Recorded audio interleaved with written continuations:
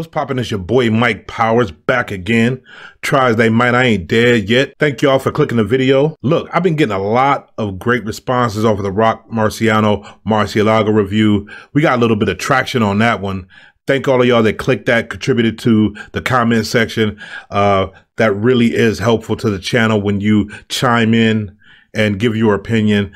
Uh, thumbs up is always helpful as well if that's something that you want to do. Uh, however you feeling on that particular day.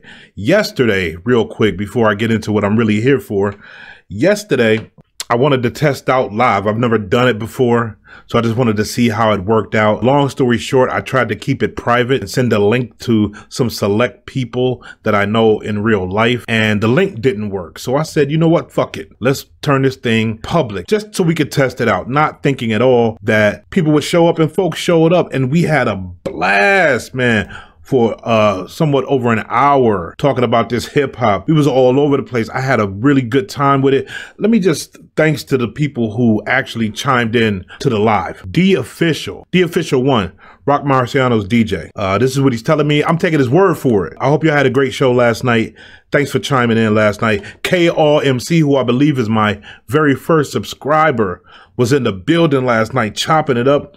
My man, I'm not going to talk about this man's business too much, but he's he's a young guy and his ears work perfectly. You won't believe the type of shit this dude is on. He put me on to uh, a guy named Ad 2, which I'm about to really go uh, deep diving on. That Ad 2. My man Caesar 187 was in the building yesterday and he put me on to a guy named Zarface, and apparently he is uh, down with the Wu Tang Clan, and he was in there giving some very positive vibes yesterday. Caesar 187, I see you. Thank you for showing up. Case Kiri, I didn't even see this dude's comment. I'm so goofy on doing this live off the rip, no practice, just going live. Uh, I was having a hard time following the comments that was popping up. And Case Kiri, I missed you. And another thing about Case Kiri, he gave me a list of top 10 rappers. And check this out. It was a good list, and we're gonna talk about that list on a on a future show coming up soon because I want to give you guys my top 10 list, and it's not gonna be rappers.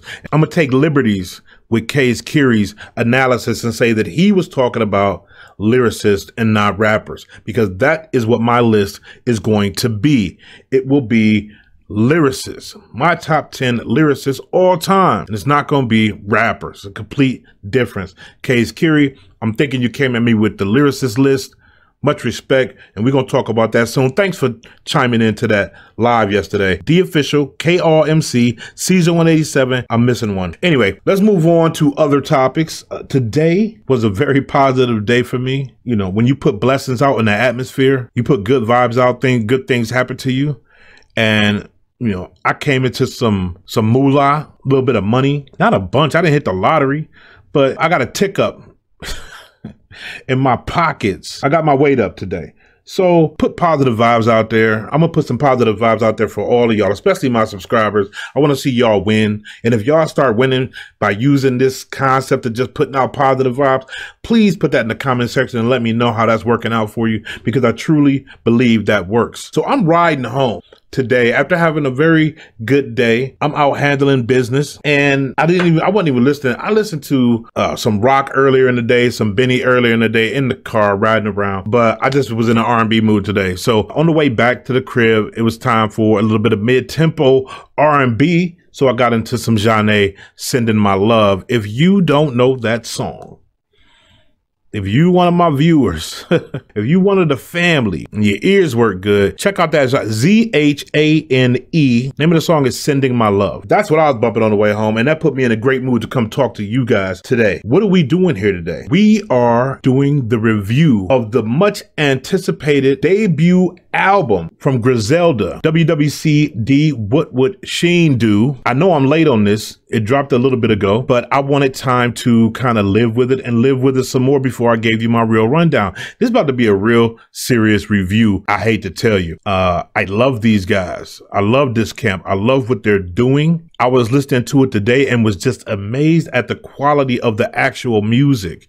Not not lyrics, I'm just talking about beats. The level of these beats showing me how serious they are about putting New York on the map and claiming reclaiming their rightful throne. I got much respect to the beat selection alone from this camp. But this is gonna be. I was thinking about this before I sat down to do this. This is about to be real serious. If I like it, I like it. If I don't, I don't. If I like one of the songs, I like it. If I like, if I don't like one of the songs or the beat or how somebody, I'm gonna say it at the risk of maybe pissing some people off. And I'm I'm I'm going in only having heard some of these songs a couple times, two or three times. So let's get serious about this.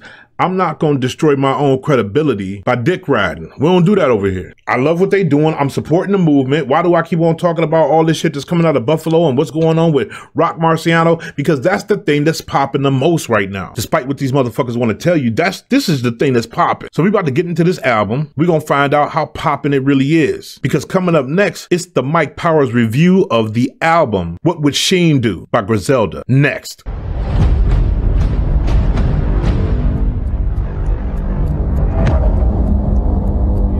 Just get right into it. Before we get started, how y'all like the big picture? Let me know in the comment section. You like the bigger picture, the smaller picture? I'm just fucking around with this today. Let me know what you think. Uh, what would Chine do? The title of the album is a reference to Benny's older brother. I believe that was his older brother. His name was Machine Gun. He was tragically murdered I believe in Buffalo. And according to Westside Gunn, he was the heart of what Griselda's always been about. And him not being on the scene is very difficult. Uh, and so when they had this first release on Shady, they wanted to show honor to Chine Gun. And that's why the name of the album is What Would Chine Do? The picture here is a real crackhead from Buffalo. That's what Benny said on the show I saw him get interviewed for. That's supposedly a real crackhead. I hope my camera's not bouncing too much uh, as I'm leaning on my desk. But yeah, that's supposedly a real crackhead. I mean, don't get no realer than that, right? The first song on this album is called Marcello Intro. Marcello Intro is featuring Raekwon. Raekwon is on here talking that shit, giving props, dropping gems, and the more and more you listen to this, you realize that this is a blessing from on high. It's the official stamp and seal of approval from a certified legend saying, yes, I believe in what you're doing. I like the movement. Keep pushing it forward and I got your back. Purposefully done, putting Raekwon on the very first track, putting his stamp on Griselda. Next song up is Chef Dreds. I already did a reaction to this, so you kind of already know how I feel about it, but let me break it down after a fresh listen. This thing is extremely aggressive. It's fight music. It's got that old boom bap style to it, but updated boom bap. Westside comes on first and he tears into this motherfucker. He firing shots all over the place. Benny coming in right behind him, no chorus, just back to back. Still sounded hungry. Conway jump on this bitch out of nowhere. You already know what the fuck he sound like. This song I love, and I'm gonna give it my little rating system. I'm trying to really establish this, and somebody else might have already did it. If they did, pardon. But out of five bars, like on your phone, but with the lyrics, see what I'm trying to do here? Five bars. This is a five bar joint right here. Highly recommend Chef Dreds. On to the next one. Next song is Moselle. I hope I'm saying that correctly. Maybe it's some expensive shit I don't know how to say. Moselle. I didn't like the beat at all. I'm just gonna be honest about that. Conway came on, and of course the lyrics was there. Benny came on, and that dude was sick with it. I want to read y'all some of the lyrics that Benny was saying real quick. He pulled this up. I had to move where the climate hot. I took the money off the corner and invested that in private stock. Bet you know I still run the kind of spot. Hustlers buy the bricks in the back and the front is just a tire shop. That's what I'm talking about when I'm when we talk about Benny and the vivid imagery. So he bringing that to this project once again. Always sounding hungry. Uh, Westside came on, great voice, lyrics. Eh, I could smoke to this. I thought it was real nice. I was just chilling on Saturday night. I could bump this. No burn in my whip though, and that's just how I feel about it. Next up is Cruiser. Cruiserweight Coke. Beat is different. It's slow it's grimy. It take a little bit of getting used to, but you'll get in the pocket real quick on this one. Listen, Benny came on this joint. I made the stank face about 15 seconds into this verse. I mean, the lyrics, the lyrics, once again, and I don't do justice to this by reading it, but I'm going to read this to y'all so y'all see exactly what's going on with Benny and this album. So this dude said, Ran it up because I trap a lot. These niggas know about the cash I got. But my pug still playing broke. He in an old Navy and an Apple Watch.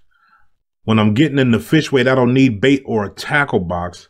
I'm a real dope boy, nigga. On my birthday, I got a half a block. On my birthday, I got a half a block. Street corners. My man, Benny, you killing them out here. And I want to say something else about what's going on with Griselda right now. This little sidebar. Listen, I thought about this. Y'all got to stop releasing so many songs. And not because I'm having a hard time kept catching up with the catalog. That's one reason. But I listened to a couple of cuts today that I don't know, I hadn't listened to them in a while. And I forget what the name of those songs were. Forgive me. But I'm like, this song is so epic. Y'all keep on dropping epic single after epic single after. Y'all doing it too quick. Make a motherfucker wait like a month, two months, three months and then drop another epic jump. As many shits as y'all done drop, it's artists that done have mega careers and only had three of them jump, maybe four. I mean, Chingy had a nice run. He had like two or three songs. you know what I mean?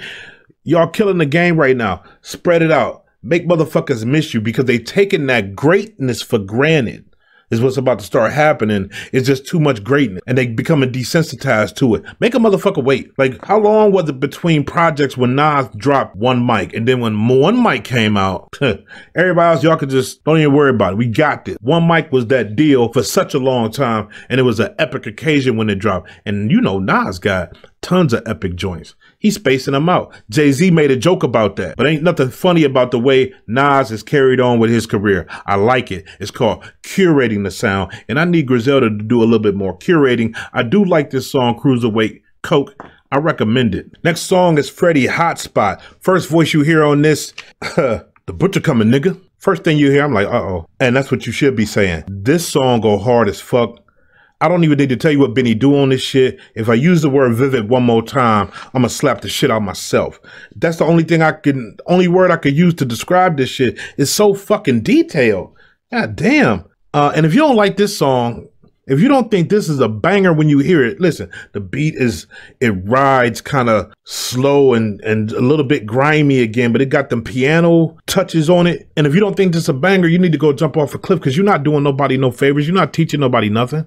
If you can't hear this shit, just stop right now in your tracks. Conway, let me not get to Conway. West Side. Me and KRMC, shout to KR, subscriber. We had a conversation about this man's voice, and he asked me, Did you like his voice when you first heard it? And I had to be honest, nah, I was trying to get used to what was going on with it. And then I realized that he knows how to use that instrument very well. He ain't the best rapper. I think he will be the first one to admit it, but it's the realism in there. And then the way he uses his voice is masterful.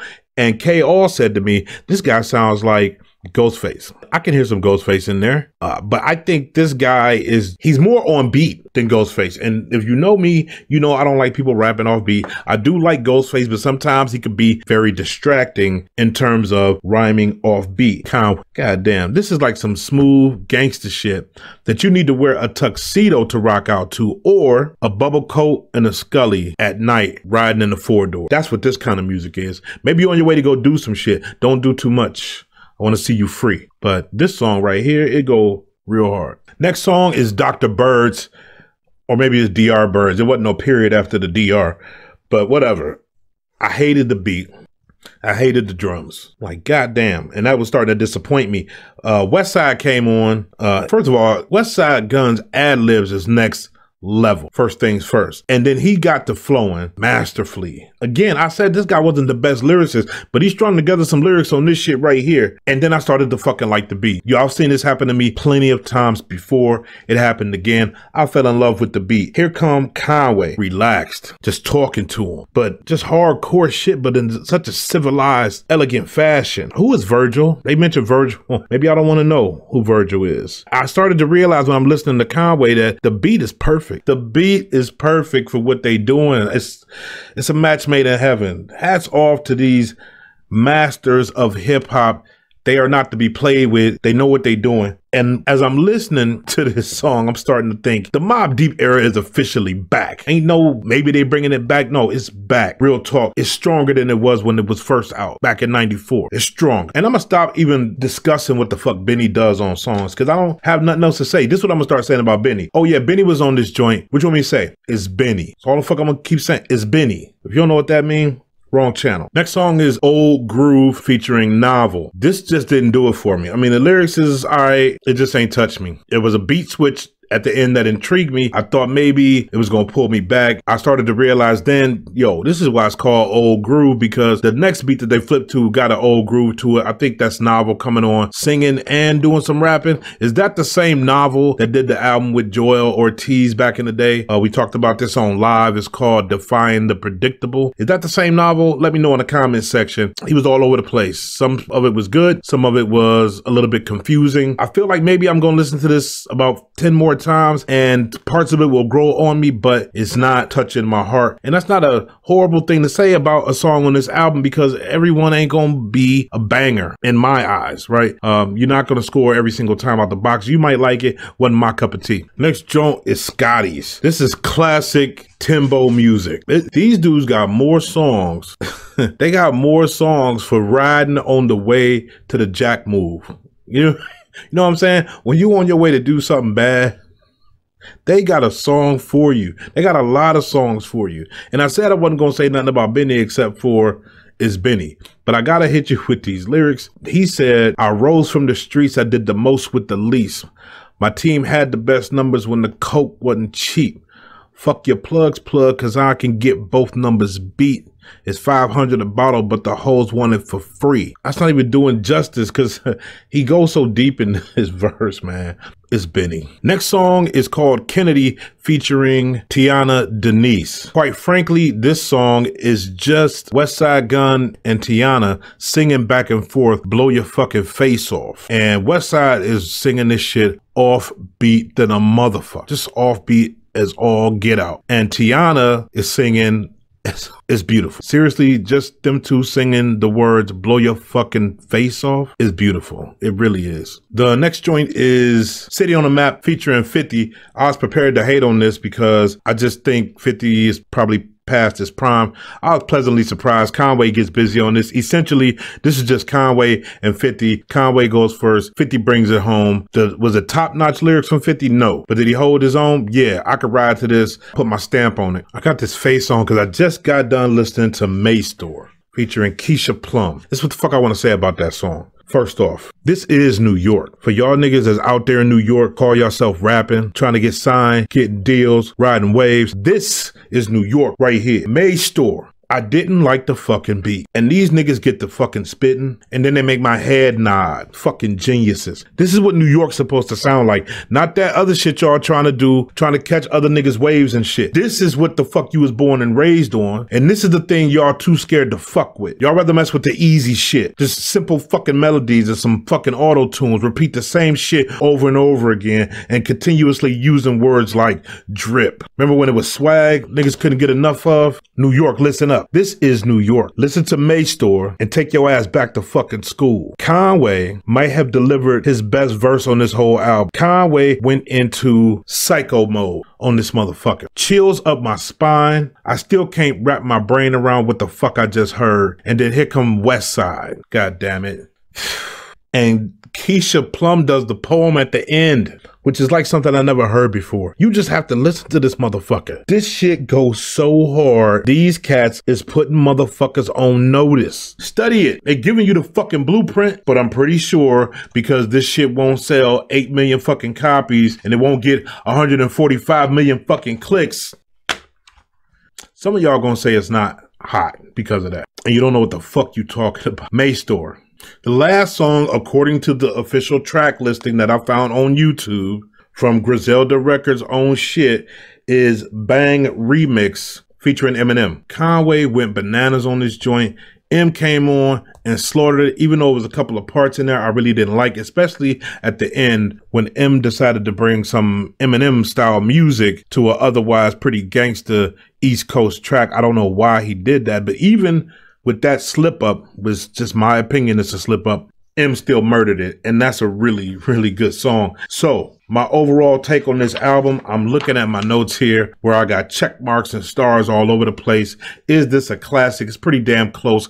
I'm gonna give it four and a half bars. This is a monster debut from the Griselda camp. And I'm not just saying that because I'm a fan, because I listened to these songs before and actually was in the mind state where I was gonna say, you know what? This really is not for me because I didn't really do a deep dive on the beats the first time. I didn't focus hard enough to what was going on. This music that we listen to is for people with some sort of intelligentsia. Let's not ever get that fucked up. The smartest motherfuckers that's listening to hip hop is listening to this kind of shit. And I need to remember that even when I'm listening to it. I got so much going on in my life. Sometimes I'm listening to things so I could react to them for you guys. And maybe I'm not doing all I can to just sit back and enjoy what these wonderful artists is bringing me. So before each and every song that I talked about, I actually listened to it before I spoke about it in order to bring y'all a fresh perspective on what I really felt about it. And I really dwelled on this shit. So at the end of the day, again, 4.5 stars. I got a live show coming up pretty soon later on this week. I hope you can join me for that. I'll let you know in advance as much as I can. If not, just, you know, make sure your notifications is popping. So when I do go live, you can be there with me and let's talk this hip hop, chop it up. But until next time,